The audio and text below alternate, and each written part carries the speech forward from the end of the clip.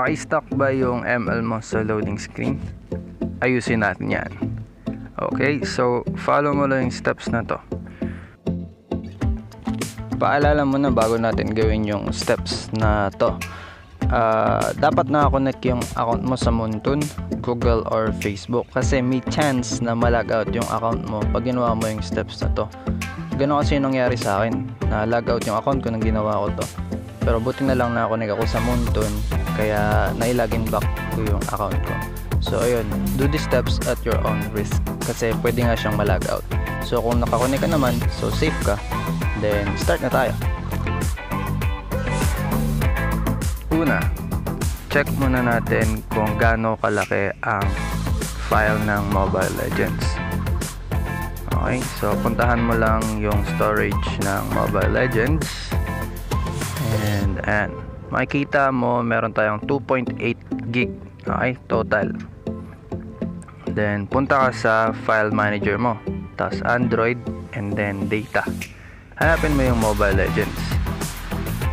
Okay, so uh, i-rename mo lang siya. Lagyan mo lang siya ng kahit na anong number sa dulo. Ayan. Then, balikan natin yung storage ng Mobile Legends application. Makikita mo ang total file niya ngayon ay 2.59 MB na lang. Okay, so clear data mo lang yan. Ginawa lang natin ay pinaghiwalay lang natin yung app at yung kanyang game file. Para pag clear data mo siya, hindi mabura yung game file mo. Ayan. And then, tanggalin mo lang yung number na nilagay mo kanina dun sa file ng Mobile Legends. And then, tingnan ulit natin siya.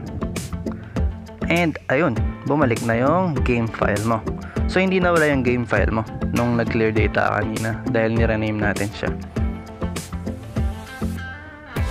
And, buksan natin ngayon ang mobile data and tingnan natin kung mag-work na ang ating Mobile Legends. Okay, so, ayan. So, kung matulungan ka ng video na ito, um, tulungan mo na rin ako. Like, share, and subscribe ka sa channel ko para uh, sa mga iba pang video na maaari rin na makatulong sa'yo. And then, share mo na rin to sa friends mo na baka makatulong din sa kanila. And, ayan. Thank you. Hintayin lang natin siya mag-loading.